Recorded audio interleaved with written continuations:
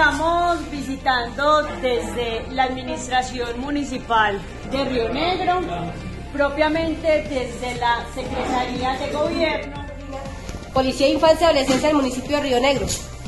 El día de hoy estamos realizando una actividad que se llama registro pedagógico, sinónimo de esa palabra, requisito. Hay alguien que porte el día de hoy o haya consumido alguna clase de sustancia, los bolsos los vamos a dejar en el piso, los vamos a dejar abiertos para que el perro pueda hacer su trabajo. Vamos a hacer esta actividad lo más fácil posible.